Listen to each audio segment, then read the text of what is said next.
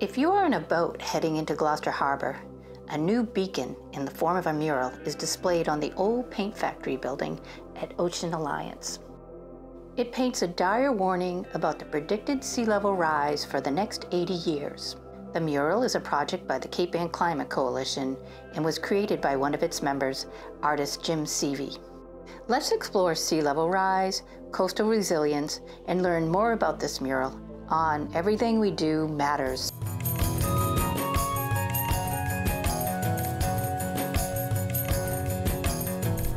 There are two reasons why global warming is uh, producing sea level rise, one of which is that the water in the, in the oceans is responding to the warming by expanding. The other uh, reason is the ices are melting on the glaciers.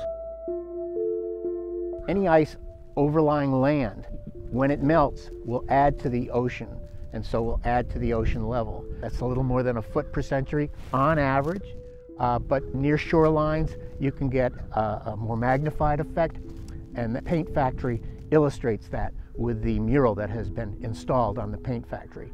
They're getting a, a greater amount of sea level rise. Climate groups and environmental organizations are working at a local level to help their communities prepare for the consequences of climate change. Coastal resiliency is really a top climate change issue for Cape Ann. We're an island. One of the most severe climate changes we're going to face is rising sea and storm surges. Storm surges will be more significant because they're erratic and they'll really demolish up a lot of property. We wanted to put up a sign where lots of people could see it, and I think the harbor is a good place for lots of people, Gloucester residents, Cape Anners, and everybody, tourists come in the summer. Cape Ann Climate Coalition reached out to Ocean Alliance, an international ocean science conservation group whose headquarters are in Gloucester, and asked if they could put a mural on one of their buildings.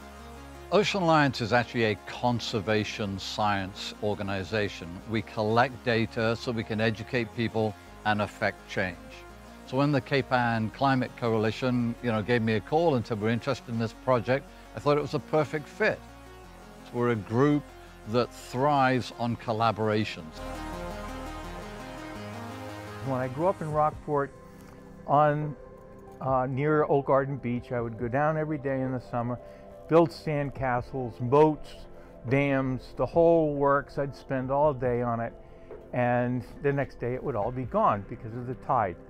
So in my gut, when I hear that the tide is coming, I want uh, it's like the British are coming, the British are coming, the tide is coming, and I just want to help people become aware of what is going to be necessary to do. Mural is painted on weather-resistant plywood.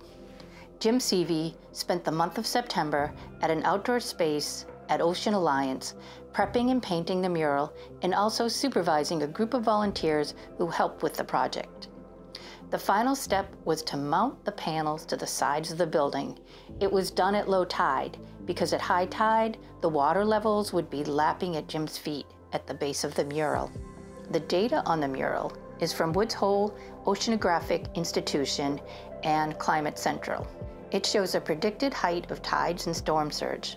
The highest point in the mural shows the peak of storm surge in the year 2100 and is almost 21 feet tall. He did not use numbers for the height of the tides.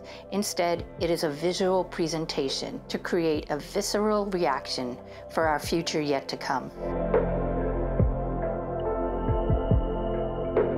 I heard the idea about the sign, I got it, I liked it, but then when I saw the sign, I'm like, whoa, that's bigger than I thought. So even I was educated. Jim explains how to read the mural. The vertical white stripes indicate 20 year gap. The green at the bottom indicates the average high tide as it will increase over the next 80 years. And the blue line uh, indicates the peak high tide or this, what they call the spring tide or the king tide, the highest tide of the year which happens once or twice a year.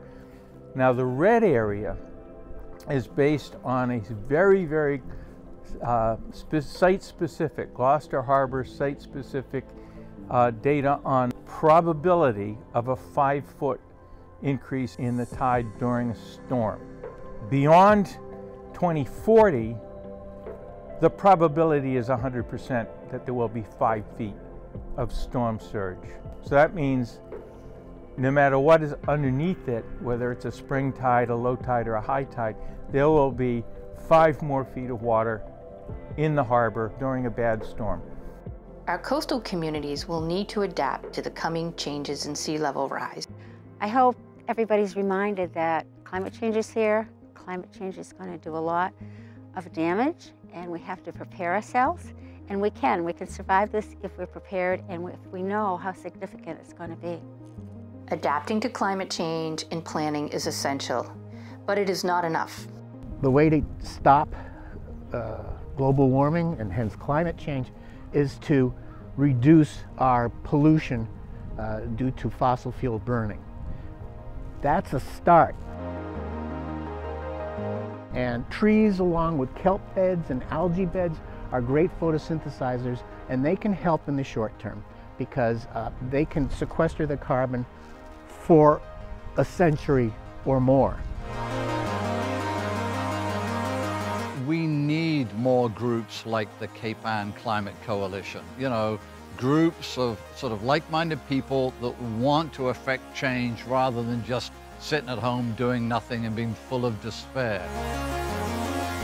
Uh, and, and the government really has to uh, start changing its subsidy strategy, uh, the one involving uh, phasing out fossil fuel use and phasing in these alternative renewable uh, sources of energy generation.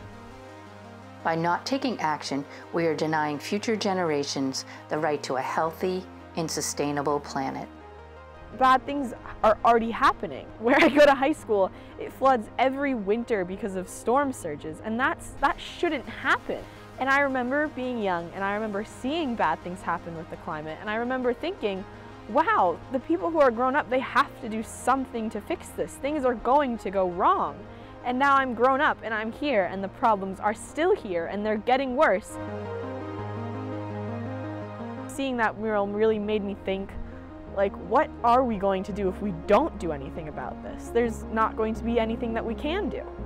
I think that this should stand as a call to legislators that we need something to be done on a bigger level than just climate marches. We need people to take action who have the actual power to take the action that needs to happen.